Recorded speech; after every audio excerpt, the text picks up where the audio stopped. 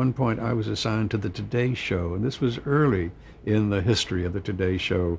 Uh, Dave Garroway was still the host. Uh, Jack Lescoulie was uh, the sports announcer, um, and um, lovely actress whose name will take me a minute.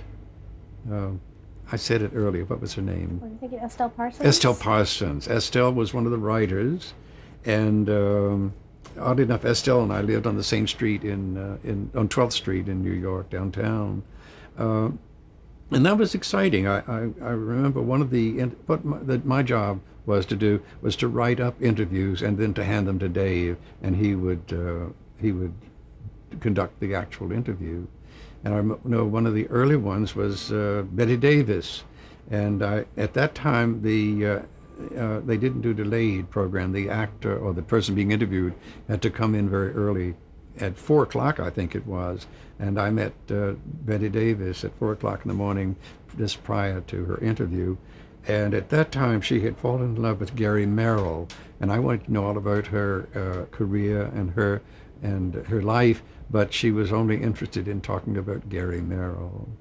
And uh, um, there was another interview that I especially remembered because I couldn't track the man down. His name was Henry Morgan, an early comedian. He used to answer the phone, Here's Morgan. And that's as far as I ever got with Mr. Morgan because he never returned my calls. And when he showed up, he, uh, he was ill prepared. So I felt very glad that I felt it was my vengeance.